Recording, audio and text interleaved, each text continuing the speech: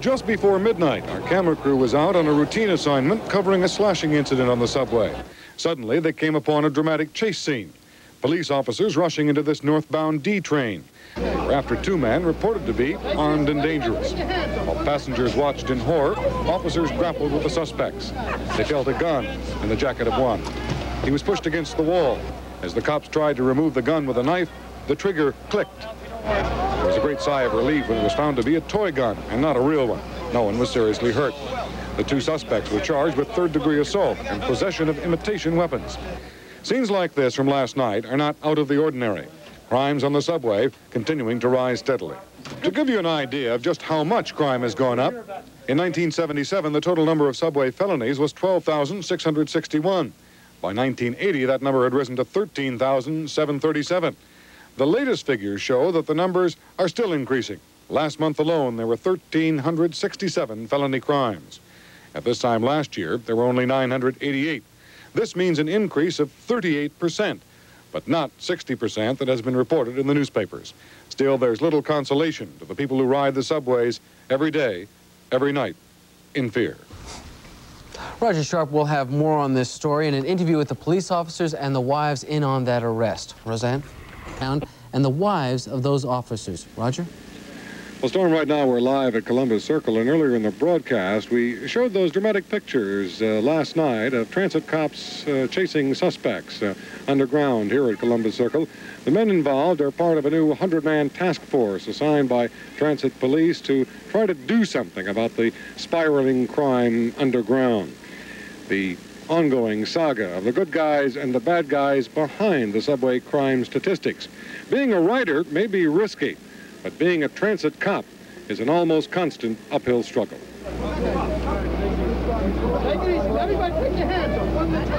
At the Lindenhurst, Long Island home of Transit Police Officer Henry Nowosad, his wife Diane, three daughters, and partner Nick Pingatore, we view a playback of last night's subway action at Columbus Circle and talk about the nasty job of combating transit crime.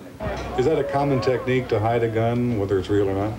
Oh yes, uh, they hide it uh, because uh, if if they're in uh, the process of, of, of, of committing a crime, uh, they don't want to be discovered until uh, they actually are, commit this crime. Are the criminals, the bad guys, just getting more blatant, or does it seem that? They are more blatant, especially these the young ones. The young ones know that uh, they have turnstile justice, as we call it. You go in one door and out the other. Youths that uh, are caught for robbery usually get recalled to their parents. They go home the same night. If they go to family court, uh, usually they get a little slap on the wrist. And they know they could get away with it, and they are more blatant than anything else, the youngsters. You go to work every night knowing you might run into a bad guy with a real gun. What goes through your mind when you're chasing down a car like that? Well, in um, my mind is to uh, make the apprehension, of, of course, but uh, uh, with that also is the idea to uh, do it as safely because I know I, I have a family, as you can see, that I want to get back to. And that's always on my mind. I try to uh, make the arrest without really of getting of, of hurt or of getting people hurt. Pictures it's like scary. There are a lot of crazy people out there. I think, uh, what I, I don't try to think about it, but if I do, I know he has a good partner with him. That's important to me. I know there's somebody there to back him up. He's an hour late. I'm a wreck.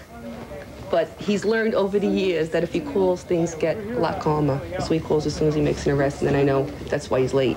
It's rough. He's got so much time invested now. I mean, it's hard thing to say, let's just forget about it. If he wasn't a cop, what would you like him to be? Uh, a bank president of Long Island? I, I really don't know.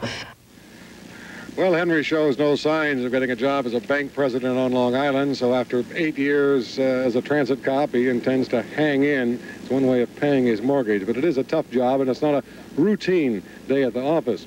Both uh, Henry and Nick believe the only answer to the subway crime problem is manpower more transit cops on every train, on every platform. More will be going into service later in the year. Uh, graduates are coming out in April and July. But at this point, I think you almost need an army to make underground really safe for those going to and from someplace. For now, live at Columbus Circle, Storm. Roger, I was just wondering, um, it seems like a, a terribly thankless job. Do these guys feel almost as if they're left out in the cold by the public? They're not getting the kind of support that they would like to have?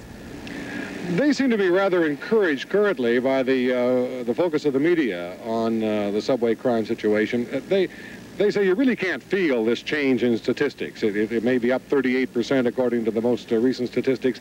They sense that it's it's been there for several years. It's very much the same, perhaps a bit more blatant, but still there. They're grateful to have the attention because they think public awareness uh, is going to help them have more success in doing their job. They're also making an effort to uh, do what other uh, uniform services are doing, and that is concentrating manpower so that even somebody lighting a cigarette or slightly making an infraction is going to get busted and, and, and then maybe a little more cautious in carrying out that mugging or more serious crime later on. Thank you very much, Roger. Roseanne?